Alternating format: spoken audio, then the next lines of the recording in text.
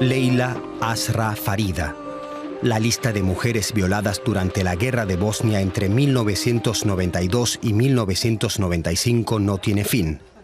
Se calcula que hubo entre 20.000 y 50.000 víctimas. La violencia sexual como arma para expulsar a los musulmanes. Un arma más eficaz que las bombas que afecta también a los familiares de las víctimas. Además, tiene un efecto que perdura en el tiempo.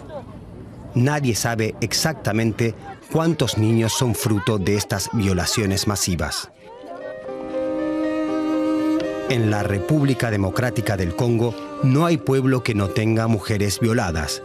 Para ellas, este país en el que el ejército y rebeldes siguen combatiendo sigue siendo el lugar más peligroso del mundo.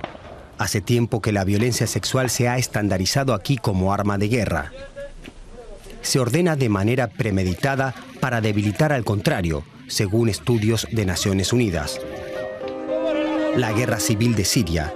Aún no hay cifras oficiales, pero se estima que rondan los 40.000 casos.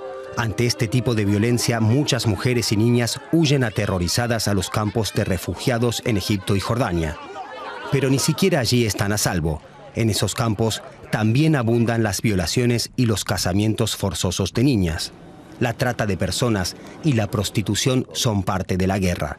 Muchas mujeres evitan el infierno sirio, pero aún así no consiguen escapar de la violencia.